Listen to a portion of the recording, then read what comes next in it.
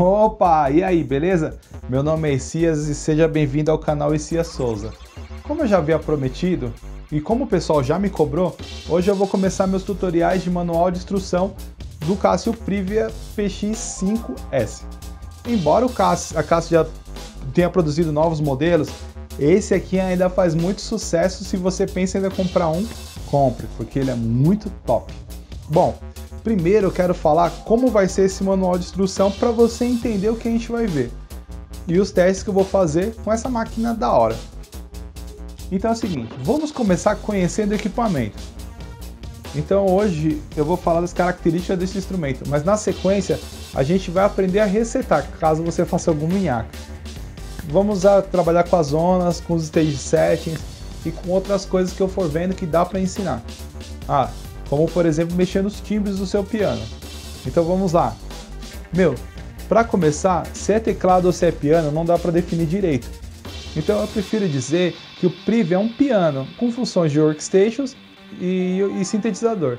Ele é da família do Privia, então os timbres e configurações são um pouco parecidos de modelo para modelo.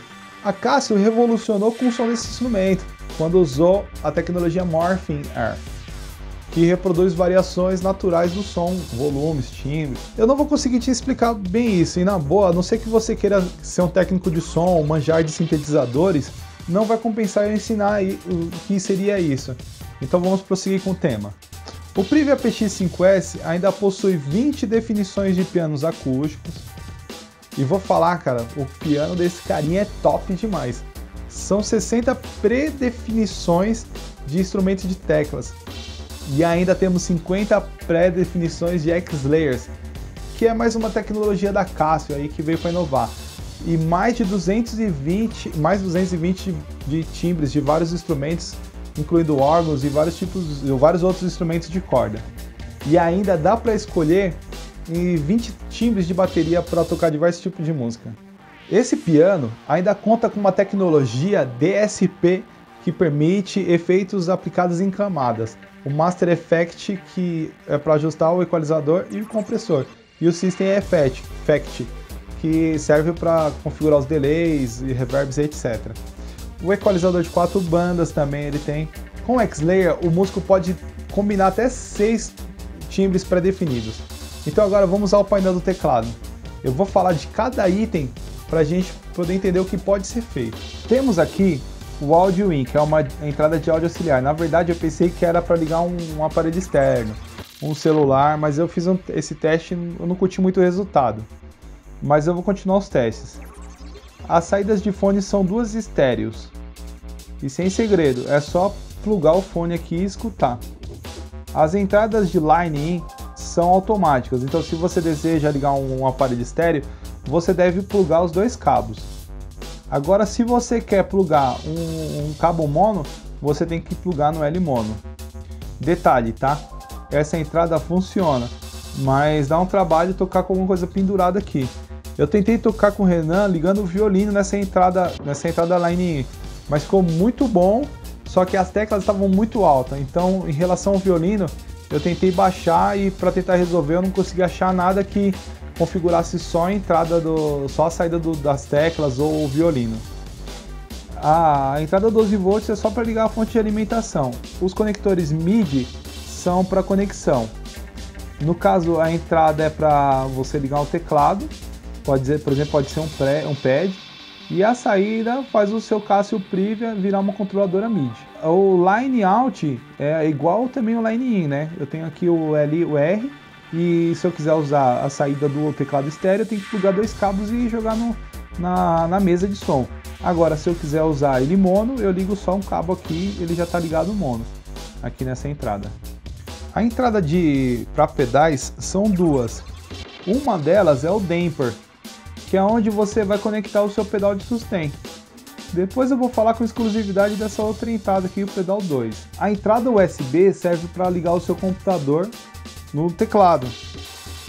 E nesse caso você pode usar para fazer o seu Privia uma controladora ou mesmo acessar o, o seu Privia através do Data Editor, que é um software que deixa você mexer nas configurações e as propriedades do timbre é, inclusive manipular os X-Layers do teclado.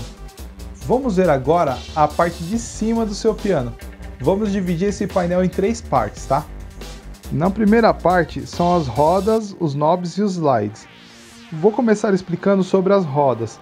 Se você ainda não assistiu a minha videoaula de teclado número 19, onde eu ensino a usar o Modulation e o Bender, assista para você poder aprender a usar o funcionamento dessas duas rodas. De qualquer maneira, essas duas rodas são o Bender, que serve para subir ou baixar a nota tocada, e o Modulation que cria o efeito de modulação. Os knobs e os slides são um pouco complexos, porque eles são configuráveis. Por isso, de, é, possui diversas funções que eu vou explicar um pouco mais para frente em outros vídeos. A segunda parte, nós começamos pelo botão Power. Esse botão só serve para ligar e desligar mesmo. O knob de volume só para controlar o volume do, do, do, teclado. Na parte Hold temos o C-System, que é o botão onde a gente configura o sistema. E vai ser por aqui que eu vou te ensinar a transportar o seu piano. Ainda temos o botão Arpeggio, que serve para ativar a função arpejo do seu teclado. As teclas ao lado são os bancos de timbre. Isso porque a Casio dividiu mais ou menos por tipo de, por tipo de instrumentos. Esses quatro botões de baixo são de funções compartilhadas, quero dizer, são de mais de uma função. Por exemplo, esse primeiro serve para configurar os efeitos ou para ativar as canções gravadas no teclado. A segunda é DSP e retroceder a canção. A terceira é o sistema e avançar. E o quarto é o que configura o master e serve de pausa. Ah, o quinto botão serve para ativar a frase e o sexto serve para parar ou, ou começar. O do que está ao centro serve para gravar. O botão tempo serve para configurar o metrônomo e aproveitando, se você ainda não assistiu a minha videoaula de tempo e ritmo, é, assista clicando nesse card do vídeo que eu estou colocando. Os botões menos e mais que sobraram aqui tra também trabalham em várias funções, como zona, parte, é, passos e trilhas e a gente vai ver mais adiante. Nessa parte que está separado como Stage Settings, são as configurações de palco. O pessoal que toca guitarra, que já tem costume com pedaleira, vai entender bem essa parte aqui do teclado. Imagina que você deseja tocar um piano, mas com reverb bem demorado e um efeito de coros. Então você entra numa numeração aqui e cria suas funções. Dá para você tocar muito mais fácil. Ó, eu vou confessar aqui, viu, meu? A Cássio mandou tão bem nesse teclado que eu não tenho vontade de, de alterar nenhuma dessas configurações de palco dessa seção. Bom, vamos aos botões então. O botão Bank permite você combinar as outras teclas para encontrar um banco. Por exemplo, se você quer acessar o banco 54, você deve pressionar o Bank, depois o 5 e depois o 4. Depois, se você quiser acessar o banco 57, basta acessar o, o clicar o 7. Se for para 25, Bank, o 2 e depois o 5. E depois, estando no 25, você pode soltar para o 29, pressionando a tecla 9 apenas.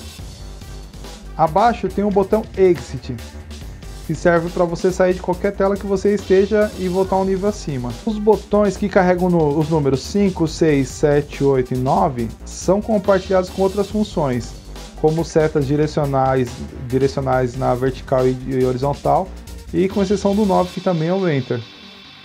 O botão Num Key serve para você ativar o teclado numérico que a gente vai ver um pouco mais para frente. As teclas ao lado possuem três opções: mais, menos, mais 10, menos 10, yes e no. As teclas Edit, Write e Audio Recorder a gente vai ver mais para frente.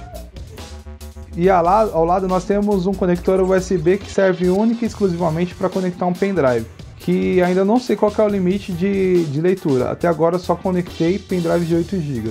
Bom, esse é o vídeo de hoje. Espero poder ter ajudado um pouco e te digo, por mais que você já conheça tudo isso que eu já falei nesse vídeo, nunca despreze as pequenas informações.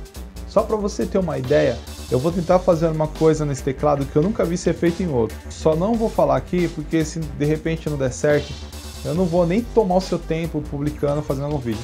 E é isso aí. Se você gostou desse vídeo, se te ajudou em alguma coisa, deixa aquele joinha aqui, compartilha esse vídeo com seus amigos e favorita ele numa playlist sua. No próximo vídeo eu vou mostrar as conexões desse teclado e vou dar alguns exemplos de coisas que podem ser feitas com ele. Então, se você ainda não foi inscrito no meu canal, se inscreve no meu canal para você ficar por dentro de todo esse tutorial do Cassiopeia PX5S. E vou aproveitar aqui para deixar esse vídeo, que é onde eu estou fazendo uma jam com a Thais Lima, tocando a música Eu Não Estou Só do Tom Molinari com esse teclado. E vou deixar também este vídeo onde eu falo como eu consegui esse kickboard. Então eu te espero aqui no próximo vídeo. Falou, tchau, tchau.